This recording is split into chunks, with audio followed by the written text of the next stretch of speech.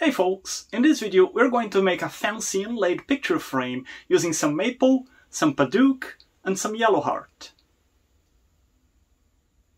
Now the first thing I have to do is square off this piece of wood so I can get nice cuts on the bandsaw later. I was starting out with some pretty rough cuts of maple, so I had to make it neat before I could use it. And for some reason I had some lapse of judgment or something, and I grabbed literally the worst plane I own while my bedrocks looked on. I'm sure they weren't judging me.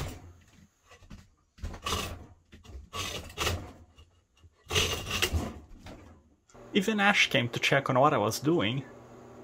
You can't be hearing all the plane shavings, Ash. I'm sure he wasn't judging me either. And eventually, using the worst plane I own, I actually finished squaring this off.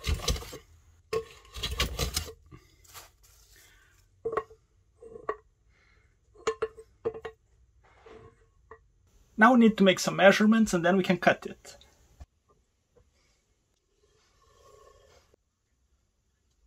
Now to the big bandsaw.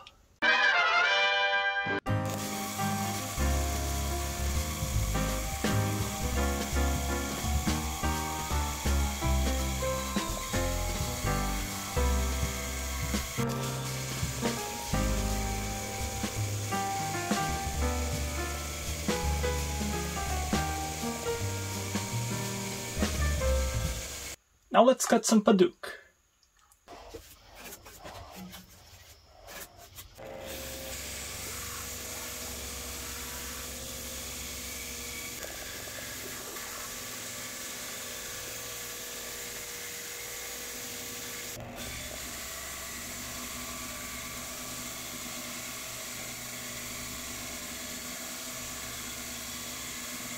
Here's our padauk. But you might notice that it's not as long as the pieces of maple that it's going to be glued to.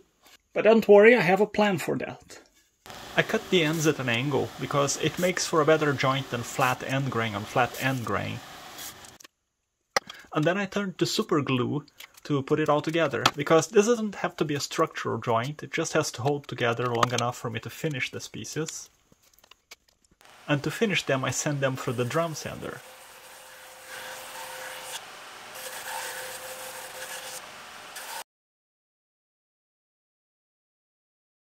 Alright, we're ready to glue it all up.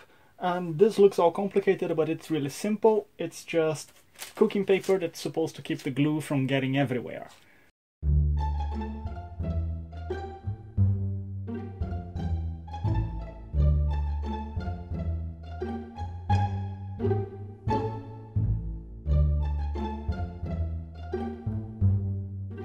Three days later.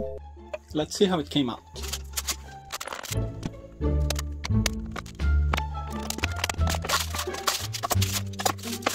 This came out really good. Very little glue spilled out, so it just needs a little bit of cleanup. Alright, let's start working on our inlay pieces then. I calculated how many I need to fill each side of the frame, and it's a whole bunch. But the trick to doing that is you make a long strip with the pattern, and then you chop it up horizontally this way you don't have to set each little piece individually. I made a new test sample to make absolutely sure, because I wasn't entirely happy with this one. I felt it needed a little bit of color, so I'm going to give a little bit of green with this piece of poplar. I think that's going to make it even more interesting. So we are going to make a yellow heart piece, a poplar piece, yellow heart, and padauk. So we have to go cut some more padauk. Cutting all that padauk previously gummed up the blade something fierce.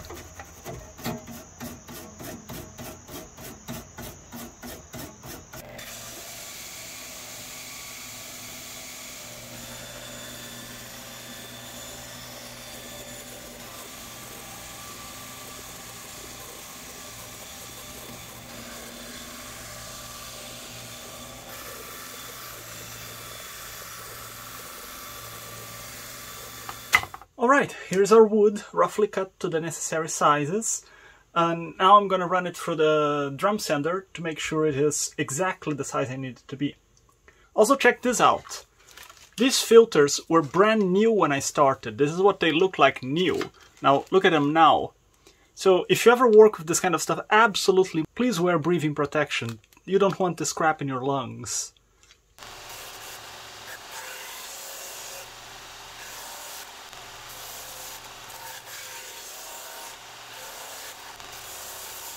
Alright, let's glue it in place.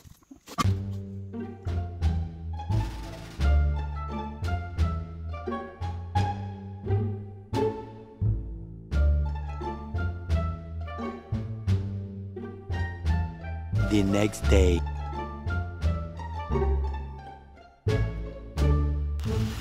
And once again for the thickness sander,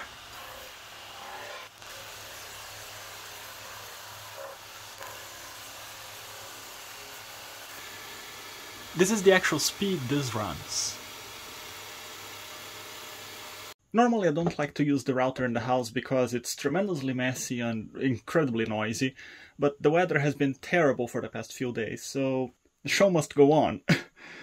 I've made a little mock-up piece that I'm going to test first to make sure all my dimensions and positionings are correct, because I only get one shot at the real thing. So let's cut this one and see how on target we are.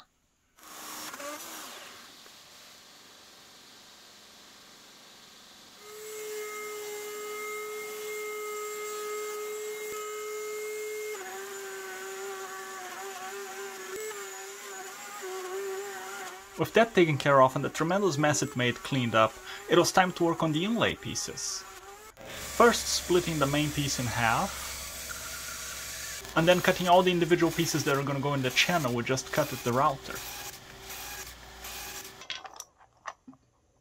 And putting it all together. As you can imagine, this took some time. Much, much later. Three days later. We have to flatten the wood one last time still.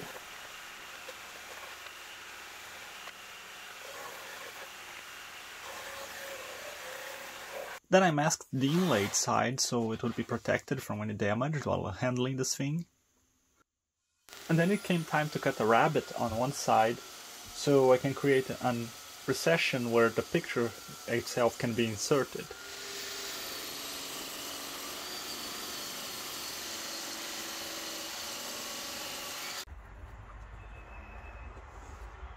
After many measurements and calculations and experimentation, I arrived to the size that I wanted to cut it, so I went for it.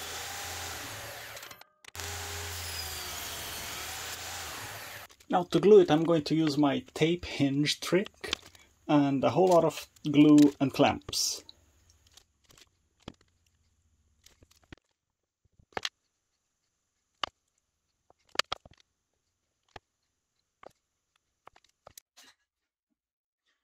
The next day. I believe that modern glue is plenty strong to hold this type of joint for lightweight applications, but still I decided to reinforce the joint. And for that I'm going to use this fancy jig that allows me to cut a slot in the corner of the frame, and then I'm going to put a piece of Padauk there to create a much stronger joint.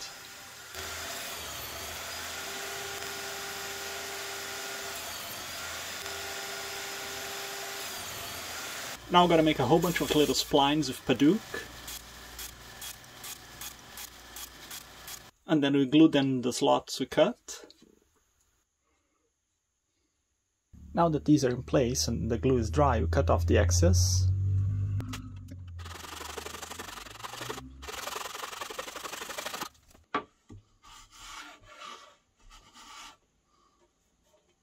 To make the piece that is going to hold the glass and the picture and everything in the frame, I'm going to use these pieces that I cut from the back.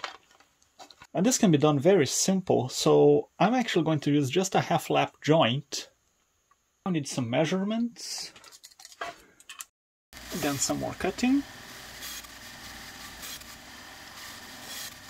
Now the way these go together is very simple. I'll cut about half the depth of the wood and uh, about this length, so the pieces one overlap with the other. They'll be glued, and then they fit here, and that's gonna be good. After I've done some math to take into account the thickness of the blade, and made a test piece, it was time to cut the real pieces.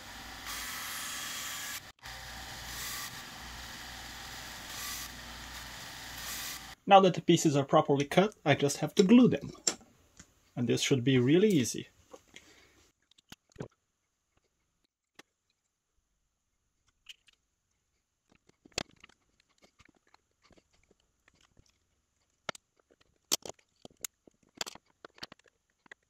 Now after the glue has set overnight, we can take the clamps off.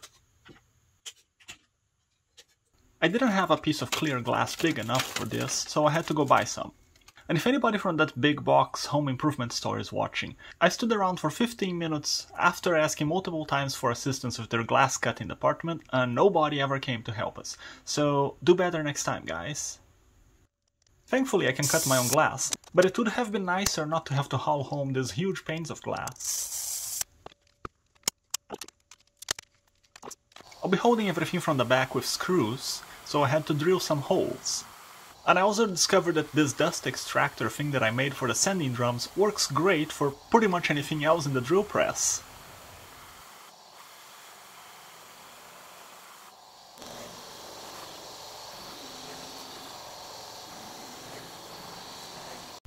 For varnishing I used some spray lacquer because it gave the colors that I liked the most on all these very combinations of woods, and it is a very good finish.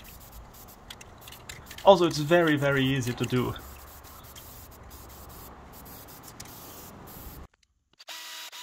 To hang the frames, I'll be using some eye hooks and some steel cable.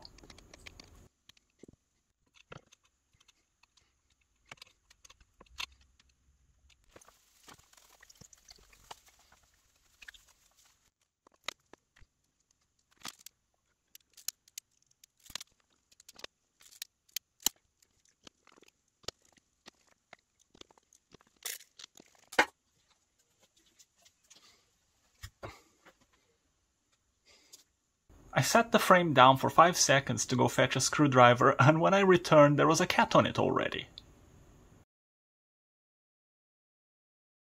What are you doing, Boo? Do you like the frame?